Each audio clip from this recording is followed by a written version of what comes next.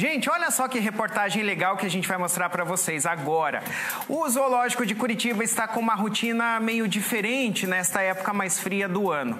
Assim como acontece no verão, quando a equipe do Zoo se preocupa com o bem-estar dos animais, com o tempo quente, né? Dando, por exemplo, sorvetinhos a eles. No inverno, essa preocupação acontece também, viu? A repórter Ana Zampier foi conferir os mimos que eles estão recebendo para ficar mais confortáveis agora nesse friozinho.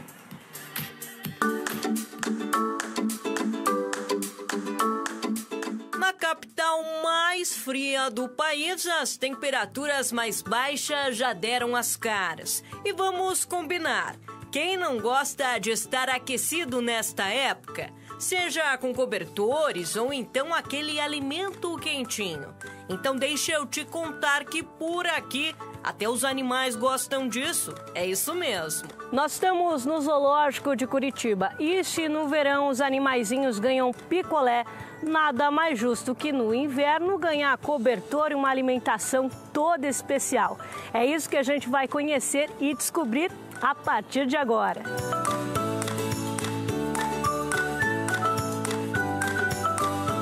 Olha, e a gente tem muitos animais aqui no zoo, mas tem alguns deles que têm esse cuidado especial. Quais são as espécies que mais necessitam nessa época desse cuidado, Carlos? Bom, a gente tem uma atenção mais especial com os pequenos animais, né? sejam aves, mamíferos, eles, é, quanto menor o animal, menos capacidade de armazenamento de energia, né? acúmulo de gordura para isolamento e proteção, então mais necessitam de um aporte maior de, de energia, de alimentos para gerar energia. Então, os bem pequenos para cima, vai diminuindo a necessidade de cuidados especiais com o tamanho do animal. E a cozinha não para. Por ali, mais de uma tonelada de alimentos separados por dia. Eu gosto de brincar, dizer que no inverno, para os animais, a comida é um agasalho. Né? Como ele não tem uma, um cobertor, né? alguns até têm, mas como não tem um agasalho para colocar por conta do frio, ele gera seu próprio calor através do alimento. Então a gente tem que propiciar esse alimento nas quantidades, nas proporções adequadas, para que ele possa gerar esse calor e se manter com, com bem-estar e com saúde.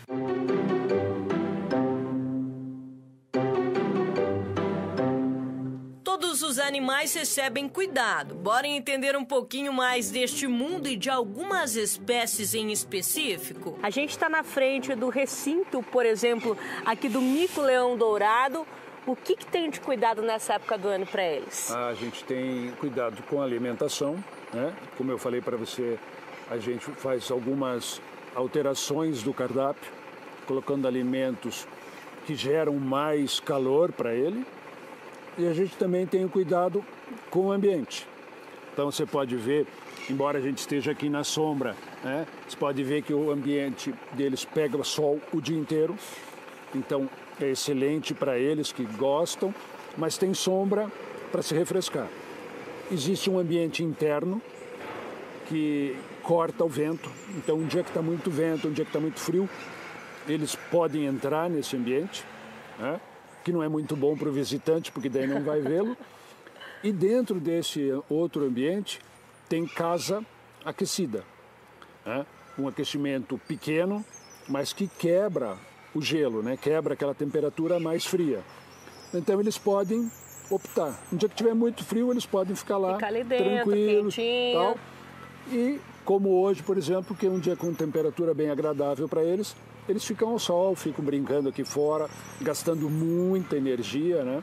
Então, o inverno, a gente tem que ter muito cuidado com isso. Cada macaquinho deste pesa cerca de 700 gramas. Ameaçados de extinção, o Paulo, Anne, Lu e Paula são importantes na recuperação da espécie. E dá para ver de longe que eles não param com isso, gastam muita energia. É preciso de algo para equilibrar. Em seus recintos, uma das certezas é não passar frio. Então, como eu falei para vocês, todos esses recintos dos pequenos primatas Eles têm um compartimento indoor, que é esse compartimento aqui fechado com parede, que corta o vento. Só tem uma pequena abertura para eles entrarem.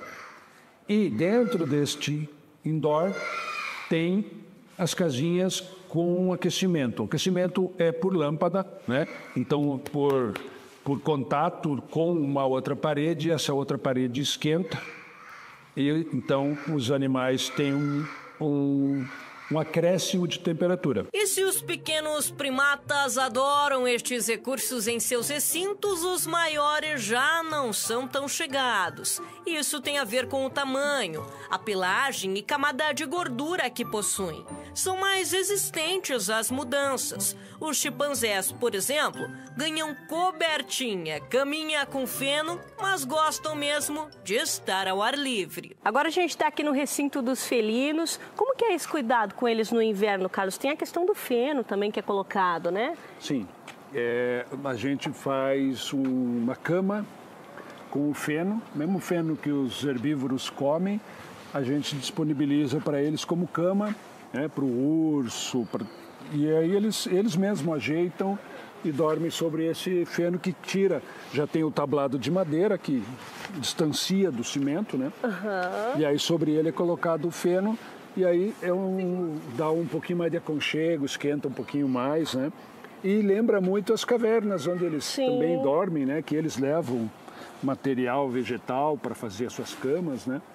Então a gente a gente procura deixar eles bem confortáveis, né? Eles com bastante bem-estar, porque o frio aqui não é fácil, né? Não é fraco esse frio. Não. Quantos felinos temos aqui? Aqui hoje nós temos três pumas e três onças e três leões. E todos bem é. aquecidos nesse inverno. Todos bem aquecidos nesse inverno. E é assim que o inverno é aquecido no Zoológico de Curitiba. Dos maiores aos menores animais, todos recebem muito carinho e atenção. 70% dos que ali chegam foram apreendidos ou resgatados, e o restante nasceu no próprio zoo ou instituições parceiras. É também uma nova chance e um grande trabalho de manutenção das populações de animais selvagens. Olha, quando a produção me falou dessa reportagem, eu achei fantástico. E comentei, pedi, né? Vamos lá, vamos mostrar, porque é um mimo diferente, é um cuidado diferente que o Zoológico de Curitiba tem com os animais. Não é à toa que o nosso zoológico aqui da capital é referência não só no Brasil, mas no mundo todo.